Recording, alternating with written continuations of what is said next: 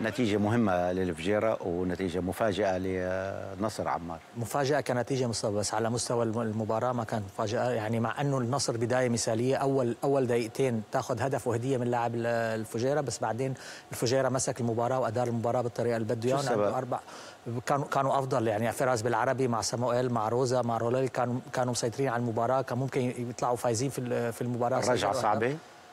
لا هيدي مصطفى كأس الخليج ما فيك لأنه ما بتعرف مين التشكيله اللي بتلعب. بتعرف إنه النصر غايب عنه تيغالي ومحمود خميس و بس لاعب عندهم هن بالمنتخب. يعني عنده ثلاث لعيبه في المنتخب.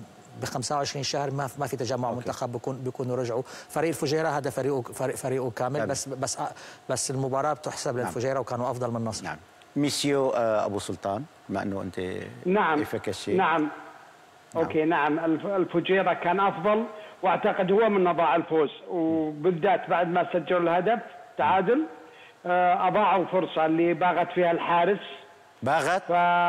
باغت؟ باغت باغت يعني, يعني كنت زعلان على يعني نجاعة كنا زعلان أيوة. على نجاعة أيوة. هلا صرت طبعا. باغت وكانوا كثير فات عم تفتح القاموس جوجل عم تجوجل لا. باغت لا باغت كلمة دارجة. نا نا ناعجة مدري ناجعة ناعجة ناعجة مين؟ نجاعة. ما كنت نجاعة. نجاعة ناعجة. طيب ما في ناعجة. عشان أكد عشان أكد لك إني أنا ما عمري سمعتها. فعبارة إذا ما سمعتها أنا عبارة نت دارجة. آه. ما هي بدارجة يعني. أنت ما سمعتها ليست دارجة. أما لو سمعت سمعتها يعني لا. وال 400 لا. مليون عربي هذول شو وضعهم اللي قاعدين هذول؟ 400 مليون عربي 399 مليون ما يعرفون ذا الكلمة. ال 100 مليون هذول زي حسين الطاي بس هم اللي يعرفونها وزي وأنا متأكد اني كنت مطلع عليها قبل ولا كان ما ما عرفتها كمان. شوف ترى؟